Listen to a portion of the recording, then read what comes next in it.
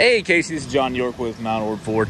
Just reaching out because I seen you had interest in this Tacoma right here. Just want to give you a little better look. I really love the look that this Tacoma has with the silver and black combo. You can see the wheels, the lettering, the running boards, all black. This comes with the bed cover already installed on it. So one thing you, less thing you have to worry about. Got the power rear sliding window there in the back. Let's walk around here and take a look at some of the interior features. Again, continuing the silver and black trim with the black leather. We got the red stitching to accent that, the sport mode on the Tacoma. We have the full four doors, the back seat here. Reach back out to me. Let me know when you can make it in and check it out in person. And uh, I'd love to see you leave my dealership with this Tacoma. Thanks, Casey.